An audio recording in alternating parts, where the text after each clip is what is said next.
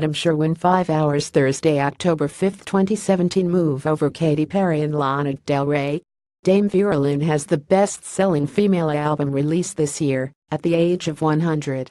The Force's Sweetheart, who celebrated her centenary in March, has outperformed the latest albums by Perry, Del Rey, Zara Larsson and Dua Lipa, according to the official UK charts company.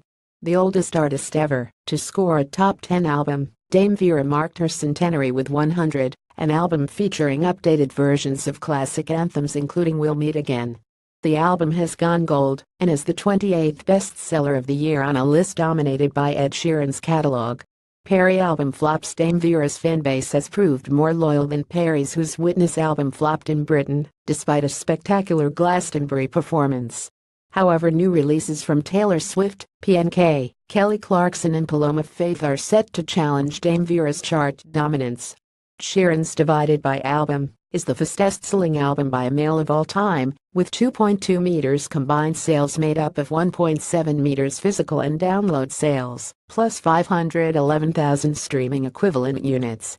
His third studio album has outsold the next biggest release, Rag & Bone Man's Human, by a 31 ratio. Liam V. Noel Sheeran's Shape of You, 2017's biggest single, is on the cusp of breaking 3 meters combined sales, with 2.95 meters shifted across all formats. It remains ahead of the summer smash Despacito by Luis Fonsi, Daddy Yankee and Justin Bieber, which has sold 2 meters equivalent units, split between 583,000 downloads and 142 meters streams the music industry is about to unload its Q4 albums, traditionally the year's biggest blockbusters.